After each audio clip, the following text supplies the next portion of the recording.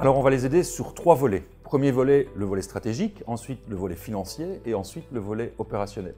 Concrètement, comment est-ce que ça va se dérouler? Ben, On va commencer par faire une analyse de la situation actuelle, hein, donc de l'existant. On va comparer cette situation actuelle par rapport aux bonnes pratiques, par rapport à l'expérience et à l'expertise qu'on a acquise au fil des projets qu'on a menés dans, ce, dans ces secteurs-là.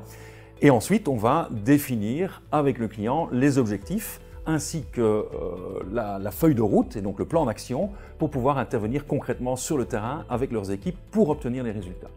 Et au final, ce qui nous intéresse vraiment, c'est de pouvoir garantir aux clients un retour sur investissement et de pouvoir créer avec eux une relation de partenariat à long terme.